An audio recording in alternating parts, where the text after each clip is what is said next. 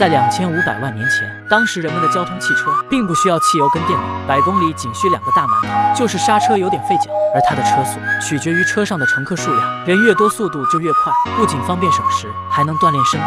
若是目的地太远，还可以选择乘坐飞机，翱翔于蓝天之上。大壮作为从业多年的吊车司机，为了防止自己睡懒觉，错过上班时间，为此还专门制作了一个闹钟，只要太阳一升，对着绳子这么一照，当的一声，又是精神百倍的一个早晨。当然，这个办法只能隔三差五的用。起床第一件事，当然是美美的洗个澡，然后整理一下仪容，以保持他那高质量的原始形象。还没出门，就听到媳妇在旁边嘀咕：“回收垃圾的猪罢工了，打算换头新的。”勤俭持家的大壮一听，连忙俯身查看，将手伸进猪猪嘴里，一番捣鼓之后，哦，原来是被餐具卡住了。大壮擦了擦手，取出一口巨大的石锅，将路边捡的恐龙蛋打了进去。这可比老八秘制小汉堡香多了。吃饱喝足，开始上班。来到门卫处打个卡。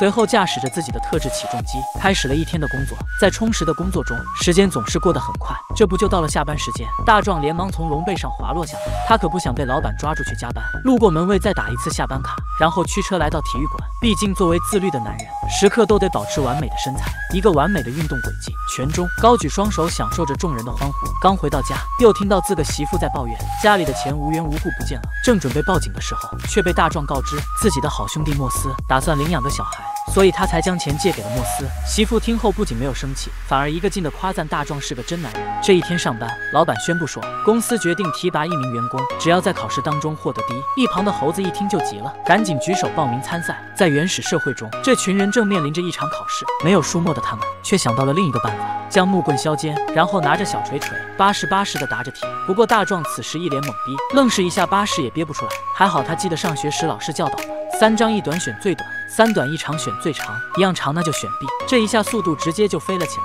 一旁的哥们一看就没上过学，都开始借鉴起猴子的答案。到交卷的时候，莫斯看了一眼大壮的答案，好家伙，只有 A、B 两个选项的试卷。大壮硬是选了一排的 C。不过为了报答他将钱借给自己，当即就将两人的书卷来了个调换。大壮原本以为自己没有希望，正准备离开，谁知却意外得到好消息，他竟以第一名的成绩成功当选为副总。这可让他开心的差点睡不着觉。既然升职成功，那必然会加薪，换豪车住豪房。当然工作不能落下，直接就根据考试结果将最后一名的莫斯给开除。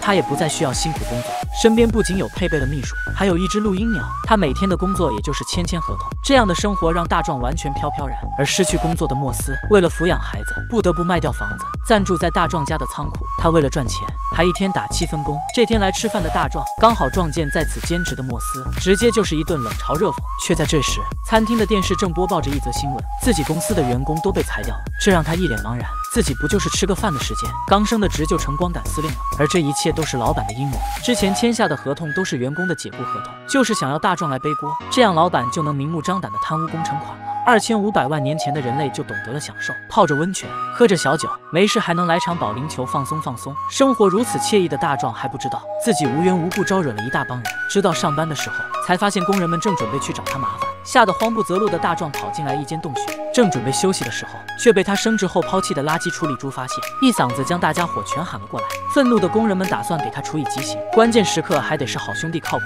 莫斯站了出来为大壮申冤，没想到直接被认为是其同伙，一起绑了起来。好在大壮的媳妇是个聪明人，知道自己老公的德行，一番调查得知大壮是被冤枉的，连忙带着得知实情的录音鸟赶了过来，这才让众人得知这一切都是老板的锅，这才放了他们。可是回到家发现家里竟然遭贼了，不过值钱的一分未动，娃却不见了。聪明的大壮分析觉得这不是盗窃，应该是绑架，大概率还是老板干的，应该是想要拿到那只录音鸟。所以他们直接带着鸟跑去找老板，希望成功交易换回孩子，却不成想老板倒已年过半百，当然不用再遵守年轻人的武德，启动机关想将众人灭口。好在大壮还是一如既往的聪明，想到了当初自己手贱玩投石机砸坏了公司仪器，不过这次他却成了拯救孩子的利器。而见情况不妙的老板慌不择路，在跑路的时候没注意，被工地上掉落的水泥胶管成了人形雕塑。而董事长对大壮破获这个案件表现的极为欣赏，当即就任命他为老板。不过看透一切的大壮这次没有同意，毕竟拥有这么优秀的媳妇以及生死与共的兄弟，还要什么自行车？